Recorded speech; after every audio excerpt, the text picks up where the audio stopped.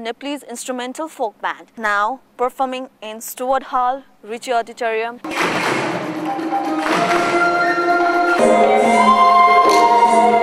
Kutumba Band has doing US tour for the charity program of a school which is on construction in Nepal.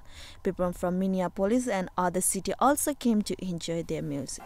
Just got done dancing, energizing, completely. And, um, very successful in uh, creating that, that kind of a perspective on this uh, St. Cloud community to spread, the, take the word out, uh, take the culture uh, from our from Nepal to to United States, and uh, at the same time educate, uh, learn, and share, vice versa, the culture.